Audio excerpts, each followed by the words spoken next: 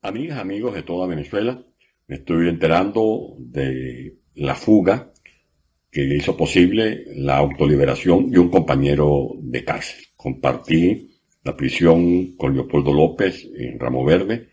Ambos padecimos la injusta prisión convirtiendo nuestros hogares en cárceles y por eso celebro que haya dado este paso porque sé eh, cómo uno sufre la impotencia de saberse limitado entre cuatro paredes. Libres en el exilio, será posible retomar esas acciones.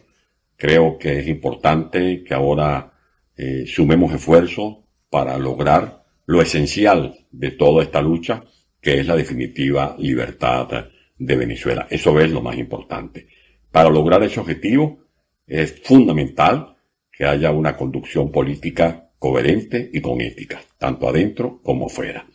Es indispensable que se conciba realmente una estrategia que defender e impulsar y en la comunidad internacional, como parte de la diáspora, buscar el apoyo para lo que realmente sirve en esta coyuntura. La intervención humanitaria, bien sea por la responsabilidad de proteger o bien sea por la activación del Tratado Interamericano de Asistencia Recíproca.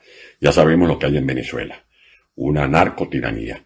En Venezuela eh, gobiernan las mafias. El Coqui en la cota 905, que es lo mismo que Maduro, con la diferencia de que el Coqui está manejando su banda en la cota 905 y Maduro usurpa el Palacio de Miraflores. Eh, la comunidad internacional tiene que saber que en Venezuela hay una masacre, que todos los días mueren venezolanos y que es urgente la solidaridad oportuna antes de que el eje del mal tome el control desde el Amazonas hasta la Patagonia. Que Dios bendiga a Venezuela. Arriba corazones.